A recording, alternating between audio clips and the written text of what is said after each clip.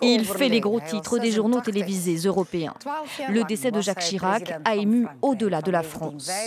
Parmi les premiers dirigeants à réagir, la chancelière allemande. On la voit ici aux côtés de Jacques Chirac en 2006. Par la voix de son porte-parole, Angela Merkel se dit très attristée par le décès de l'ancien président français.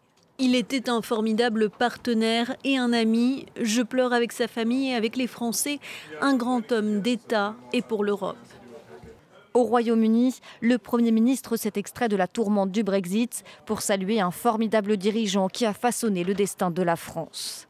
Le chef du gouvernement espagnol, Pedro Sanchez, évoque lui un leader qui a marqué la politique européenne. Le président de la Commission européenne se dit dévasté. Pour lui, l'Europe perd non seulement un grand homme d'État, mais pour lui, c'est aussi un grand ami qui s'en va. Voici ce qu'il a déclaré.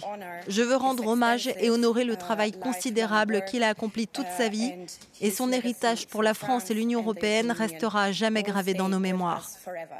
Le président russe Vladimir Poutine rend hommage à un dirigeant sage et visionnaire. Le chef du Kremlin, au pouvoir depuis 1999, a également fait part de ses condoléances à ses proches. En 2006, Jacques Chirac, alors au pouvoir, avait remis la Légion d'honneur à Vladimir Poutine. Au Liban, le Premier ministre Saad Hariri, dont le père était un grand ami de Jacques Chirac, déplore lui la disparition de celui qu'il qualifie de l'un des plus grands hommes de la France. En Afrique, le président gabonais rend hommage à un grand ami de son pays, amoureux sincère de l'Afrique, et à celui qu'Ali Bongo Odimba considérait comme un père spirituel.